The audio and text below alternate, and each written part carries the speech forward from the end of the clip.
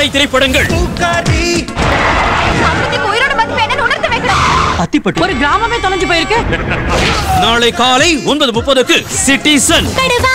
Fresh juice அஞ்சு நிமிஷத்துல கொண்டு வந்துடுறேன் என்னது கொண்டு ராட்சச வெளில போயிருக்குன்னு சொன்னீங்க வரும் புதன் காலை ஒன்பது முப்பதுக்கு லண்டன்.